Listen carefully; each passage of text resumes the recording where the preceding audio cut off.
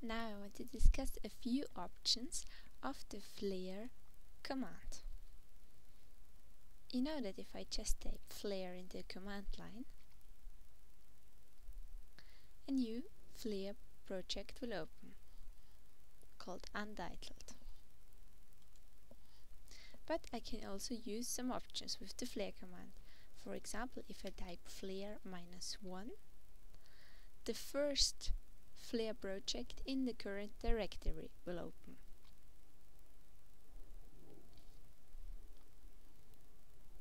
In my case, this is tutorial.flair.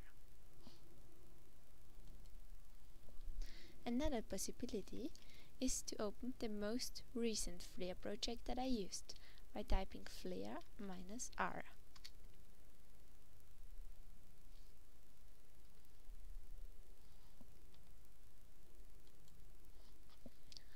Also, I can have a look at the 10 latest files that I used by typing in flair minus L and then I can just select one by putting the number corresponding to the flair project. For example, if I want to open this one, I just type 7 and it opens.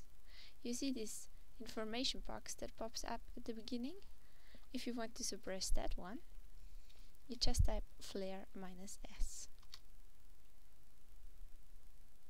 And it doesn't pop up. If you know which file you want to use from this list that we just had a look before, I can also type flair minus capital R and the number that I want to open.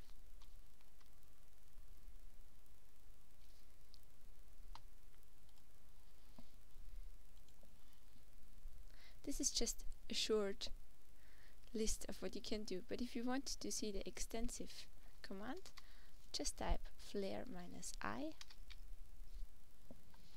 and you see all the options that you have with the flair command.